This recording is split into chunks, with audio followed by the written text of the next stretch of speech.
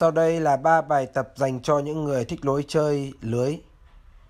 Bài tập thứ nhất đó là tập một phông và một lưới, giúp phản xạ rất nhanh. Bài tập thứ hai đó là phát bóng rồi tràn lên lưới bắt vô lê. Có thể là phát vào giữa người, phát ra sa mang, sau đó bắt sâu, bắt chéo sân, bắt sang trái sang phải.